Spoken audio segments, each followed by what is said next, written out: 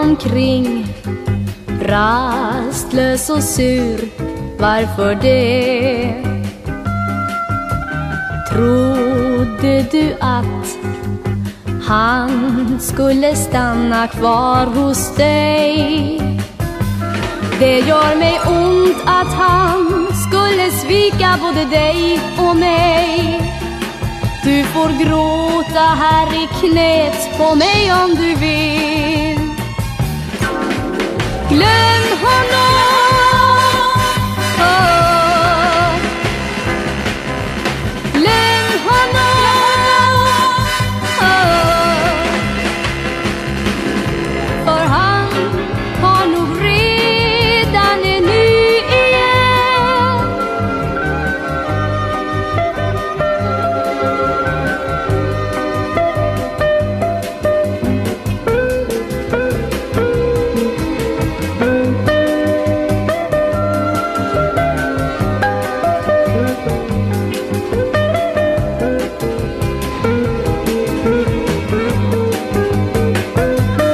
Det gör mig ont att han skulle svika både dig och mig Du får gråta här i knät på mig om du vill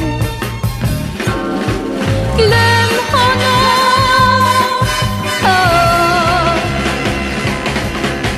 Glöm honom oh. Du är